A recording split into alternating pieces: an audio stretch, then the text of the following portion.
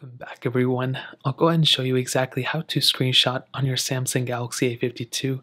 This is a very easy process. All you want to do is locate on the side of your A52 this way, anyway, just sounded awkward. You want to hold down the power button and the volume down button at the same time.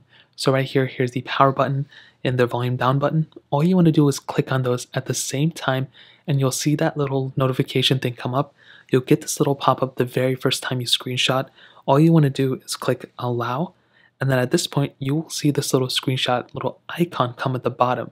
I'm going to go ahead and do this again. You want to hold the power button and the volume down button at the same time.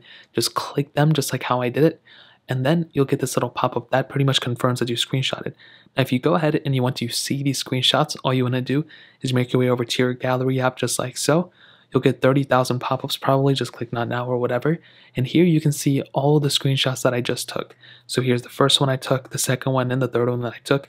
Now let's take a look at this one. Let's say I wanted to go and edit it up. Well, at the bottom, there's a couple options. You have the favorite button, edit button, share button, delete button, and more options.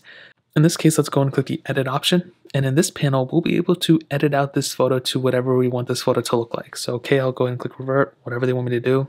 And after 20 seconds of doing that, you'll be able to go ahead and tamper this image so you can go and make it look like whatever you want to, edit it through.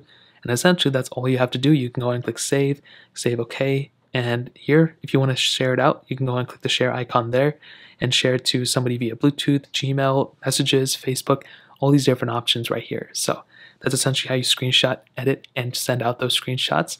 If you guys have any other questions or anything like that, let me know in the comment section below hit the like button, that would mean so much, but definitely hit that subscribe button. Every single subscriber that we get really does count, so it means so much if you guys can hit that. Also, check out the other links down in the description as well my Twitter, my Instagram, my other channels. More importantly, everything else, I love every single one of you guys. Hopefully, I'll catch you guys in the next video. Peace out till then.